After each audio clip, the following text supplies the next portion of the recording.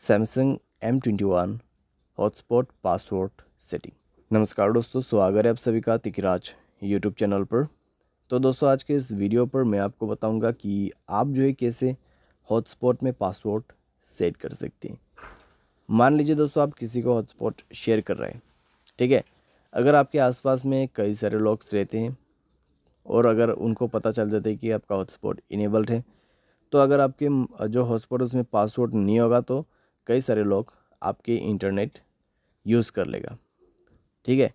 तो इसी वजह से दोस्तों हॉटस्पॉट पासवर्ड जो है इम्पोर्टेंट है। तो अगर आपको सेट करना नहीं आते तो इस वीडियो को देख के सीख लीजिए कैसे सेट किया जाते हैं।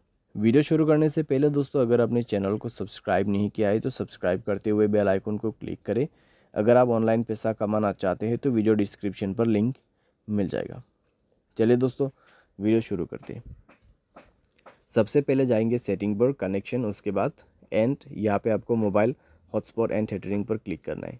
नेक्स्ट पे आप सिंपली जाइए मोबाइल हॉटस्पॉट में, और उसके बाद ये रहा पासवर्ड।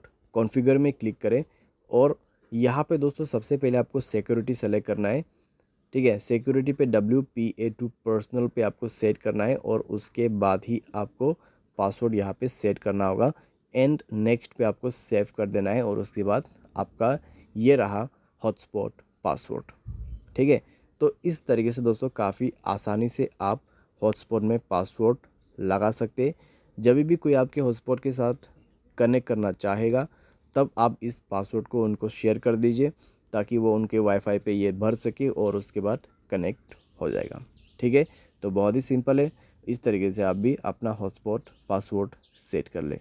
उम्मीद करते हैं आपको वीडियो पसंद आया होगा। Thanks for watching